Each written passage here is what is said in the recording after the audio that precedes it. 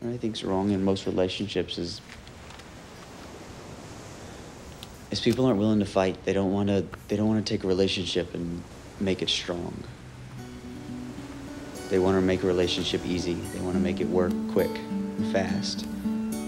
They want you to be the perfect person for them, but they don't want to be the perfect person for you. They just want to take. I love to sit outside and watch the rain love you. pouring down its peace on everything. You know, just because Simone didn't wait doesn't mean you don't have to.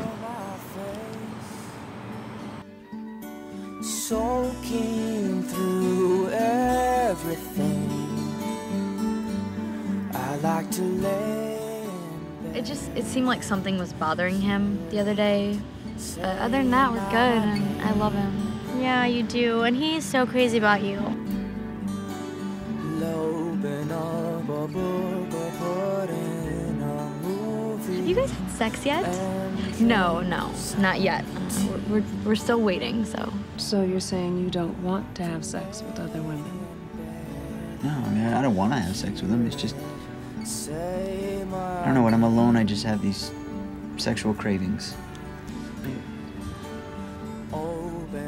I've had sex with ugly girls, fat girls, butterfaces. I mean, I've literally ran the racial gamut.